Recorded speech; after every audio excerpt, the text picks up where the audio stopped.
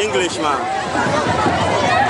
uh, we are here today uh, witness the celebration of 2020 Nama Festival in the municipality.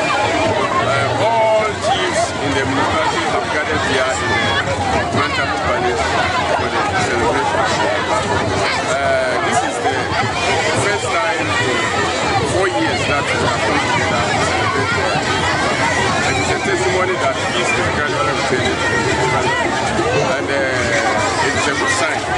that at least we are now embracing peace. Also, um, uh, you can see that almost all who have been escaped by the people are here to witness the celebration, even including those from Accra. You can see the Jamana people, they've come in their numbers uh, for the celebration of the Damba. I also want to take this opportunity to appeal to all and sundry in the municipality that we have 32 days to go to the.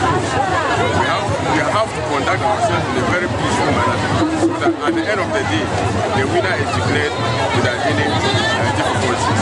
I also want to thank them for the show of maturity in the celebration of this year's uh, Dambam Festival.